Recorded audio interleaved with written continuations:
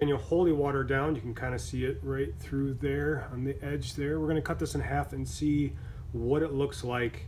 Uh, when I did go in the heat, it did crack, so I healed it in the heat before I pulled, but it did get a lot of bubbles in it. So when I pull it down next time, those bubbles are going to stretch and kind of mess things up. But we're going to cut it in half and see how good of a pull it did and see how it looks.